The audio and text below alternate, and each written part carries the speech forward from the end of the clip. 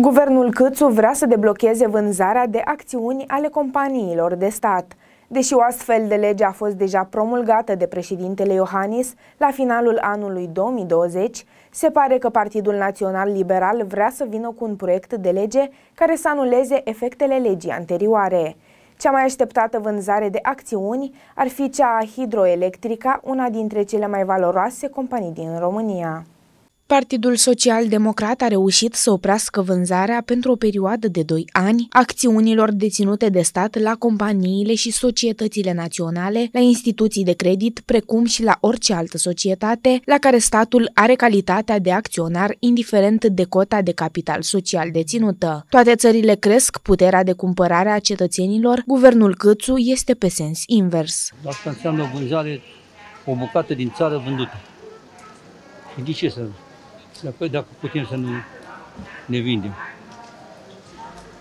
Păstrată avutul național. Deocamdată. Cât se poate. Și nu sunt de acord cu multe probleme cu domnul Cățu. Ați menționat de multă vreme. Nu zic, am o pensie decentă, dar problema, de, mă gândesc la oamenii care trăiesc cu 800 de lei pe lună. Ce fac ăștia acum?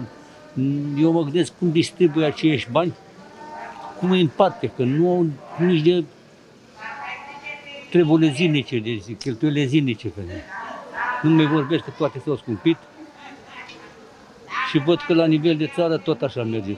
Credeam că face o schimbare, dar schimbarea nu s-a produs. Nu sunt de acord.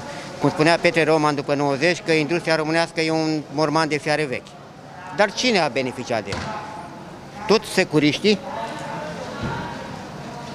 copiii securiștilor, copiii politicienilor, copiii care au îmbătrânit, sunt mai în vârstă decât noi acum, decât mine cel puțin.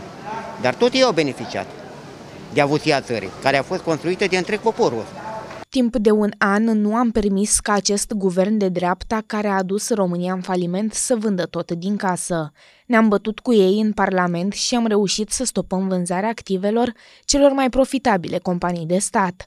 Hidroelectrica, Romgaz, Nucleare Electrica, Transgaz, CEC și Aeroportul București, a mai spus Ciolacu. Guvernul Câțu cere anularea acestei legi. Acesta vrea să dea un nou asalt asupra avuției naționale. PNL și PSD se contrează pe legea care interzice vânzarea activelor de stat. Deși o astfel de lege a fost deja promulgată de președintele Iohannis la finalul anului 2020, se pare că guvernul PNL, USR Plus, UDMR vrea să vină cu un proiect de lege care să anuleze efectele legii anterioare.